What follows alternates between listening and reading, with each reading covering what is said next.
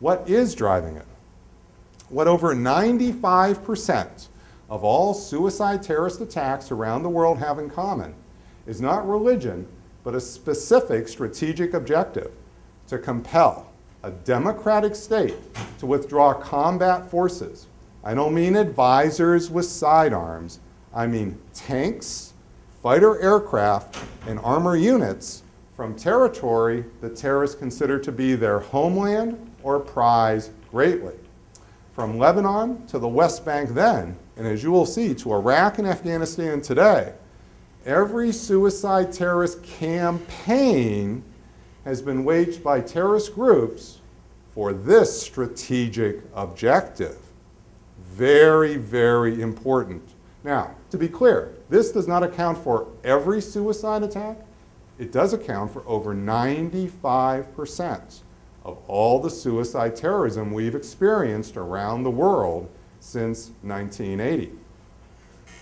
This chart looks at the nine disputes that comprise the 95% of the suicide attacks during this period.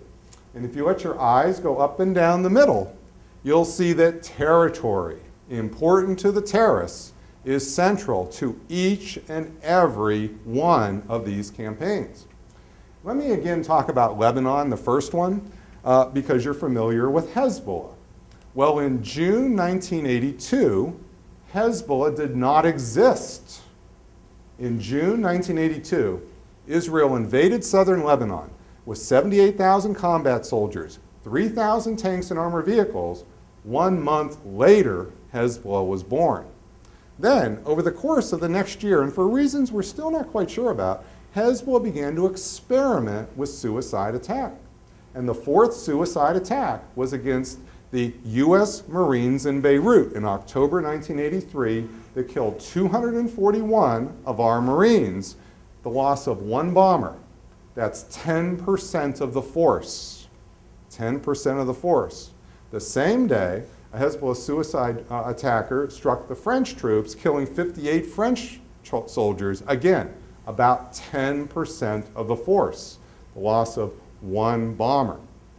Well, Ronald Reagan, no pacifist, just a few months later, decided to withdraw all American combat forces from Lebanon rather than face the risk of another suicide attack.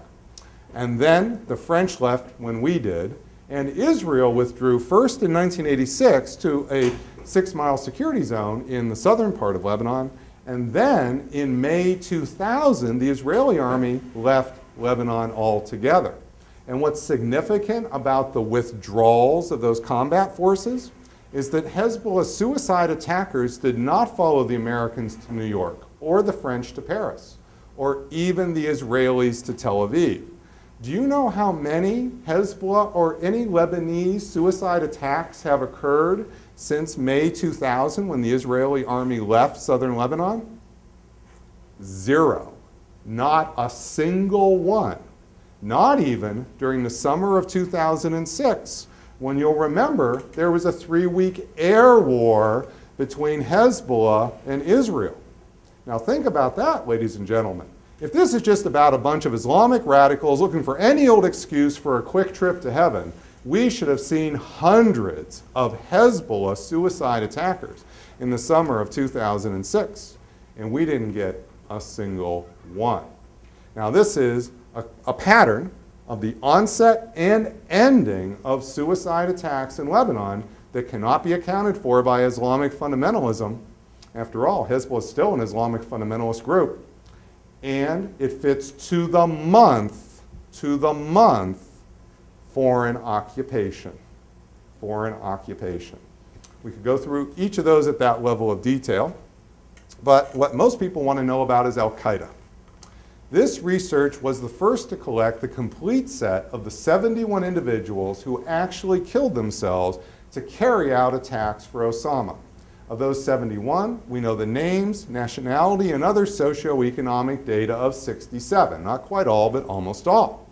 And the largest number, 34, come from Saudi Arabia, the large majority from the Arabian Peninsula, where the United States first began to station combat forces in 1990. It's important to underscore, even to an educated audience, that 1990 was the watershed year in our military deployment to the Arabian Peninsula. Yes, before 1990, the United States had a few hundred advisors there, uh, mostly Marines with sidearms standing guard in front of an embassy, but no tanks, no fighter aircraft, no armor units, going all the way back to World War II. We put those forces in to kick Saddam out of Kuwait. We kicked him out of Kuwait in March 91 and never left. From that day on, March 91 on, we kept between 12 and 30,000 combat soldiers stationed on the Arabian Peninsula. And the Al Qaeda attacks start five years later in 1995. Moreover, notice where the Al Qaeda suicide attackers are not coming from Iran. Surely an Islamic fundamentalist population, three times the population size of Saudi Arabia. No Al Qaeda suicide attackers. Sudan. Sudan is an Islamic fundamentalist country, uh, about the same population size um, as Saudi Arabia, and with a brand of Islamic fundamentalism so congenial to Osama, he chose to live there for three years in the 1990s? No. Al Qaeda suicide attackers. Bangladesh, one of the largest Islamic fundamentalist populations on the planet, over 110 million people, excuse me, um, and no Al Qaeda suicide attackers. Um, just to come, uh, if this was about Islamic fundamentalism, we would see, ladies and gentlemen, a very different pattern in who was producing the suicide terrorists. I'm glad to go through and actually talk about the specifics case by case by case on the other ones. So, but let me again keep coming back to the heart of this. Because so far we've just talked about the data. But before I just keep talking more about data, I want to let you listen to the, nine, to the Al-Qaeda suicide attackers themselves. I want to show you martyr videos from four of the actual 9-11 hijackers I want to show you two martyr videos from two of the July 2005 suicide bombers for Al Qaeda in London. Um, these uh, videos were made um, uh, before they did their suicide attack, given to Al Qaeda, and then Al Qaeda, as you'll see, um, put in some extra pictures. They put in like pictures of the buildings falling on the, with the 9 11 guys so that you can associate them more tightly with the attack. Um, but these are their last video will testimonials. And we put them together so you can follow this a little easier because uh, with uh, their subtitles. The 4 9-11 guys, they're Saudis. They're going to speak to you in Arabic. So there's subtitles underneath you can uh, more easily follow.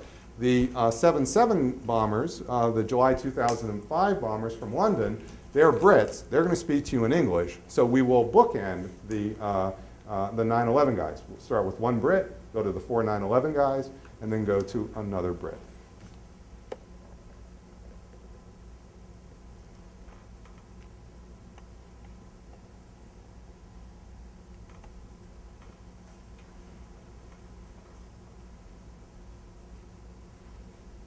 This is how our ethical stances are dictated. Um, your de democratically elected governments continuously perpetuate atrocities against my people all over the world and your support of them makes you directly responsible, just as I am directly responsible for protecting and avenging my Muslim brothers and sisters. Until we feel security, you will be our targets, and until you stop the bombing, gassing, imprisonment and torture of my people, we will not stop this fight. We are at war and I am a soldier. وأقول للقيادة الأمريكية إن أرادت سلامة جيوشها وشعبها فلتسحب جميع قواتها من بلاد المسلمين ولتخرج من جميع أراضيهم وإلا فلتنتظر الرجال ولتجهز دوابيتها وتحفر قبورا لأبنائها ولتستعد لأن تذوق الويل والوبال القادم على قياداتها وشعبها بإذن الله. وإن من المصائب العظام التي أصيبت بها الأمة الإسلامية هي احتلال بلاد الحرمين من قبل الجيوش اليهودية الصليبية وعلى رأسها أمريكا. وإن هذا الاحتلال أكبر خيانة وكارثة في تاريخ الإسلام. فلم تغز جزيرة العرب بمثل هذه الجيوش الأمريكية الجبارة التي تمخر أساطيرها بحار الجزيرة. وتفضل طائراتها سماء المنطقة وتدب فيالقها فوق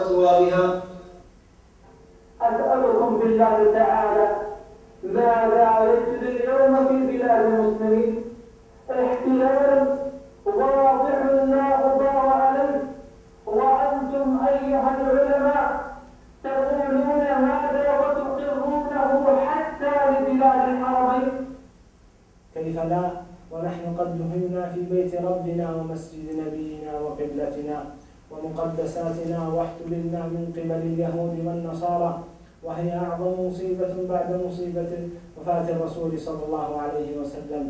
ومما يزيدها عظما أن هذا الاحتلال تم بالتعاون مع الحكام المرتدين.